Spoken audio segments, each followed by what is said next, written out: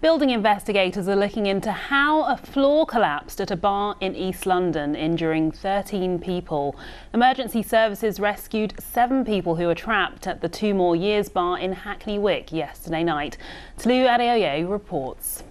The first thing wasn't what we saw, but what we heard. Suddenly there was this earthquake like rumble. It was a casual Saturday drink that took a frightening turn. Hal was on the mezzanine level of the Two More Years bar in Hackney Wick when the floor suddenly gave way.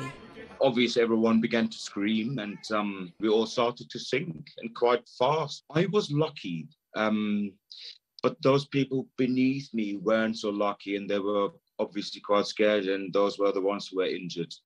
Firefighters rescued seven people who were trapped.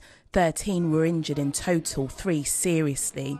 The London Ambulance Service said the collapse was treated as a major incident. From the outside, you can't really tell that anything's happened inside the building. We've not seen any activity while we've been here.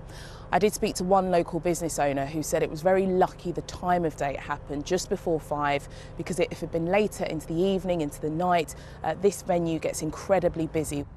Tower Hamlets Council says a structural engineer has been on site to assess the integrity of the privately owned building. It was due for demolition in two years.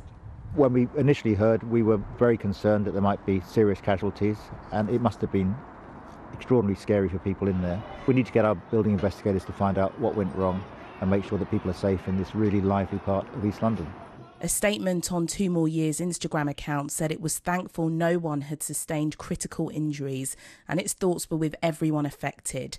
A sentiment echoed by London's Mayor Sadiq Khan, who also thanked the emergency services for their swift action. Tolu Adeoye, BBC London.